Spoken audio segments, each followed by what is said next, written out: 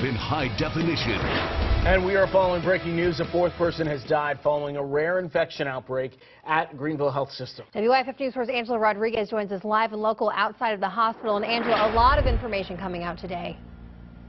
Gabby and Nigel, officials believe tap water is the source of the outbreak, specifically water used to make ice here at the hospital. They tell us they may never know how patients contracted this rare infection because they don't believe that patients came into contact with the ice. The hospital announced today that a fourth person with this infection died last week, and just hours ago we learned that this infection started much earlier than doctors first thought. Officials now say three of the 15 confirmed cases were traced back to 2013. The hospital first told the public about the outbreak on June 20th of this year.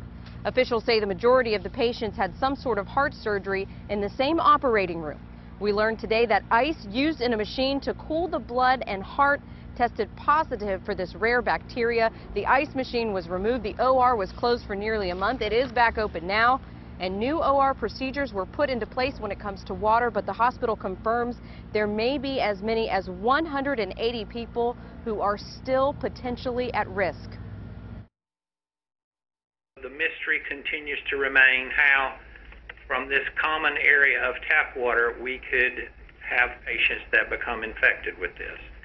This bacteria is found in nature, it's in the dirt, it's in the water, uh, and it's in the environment.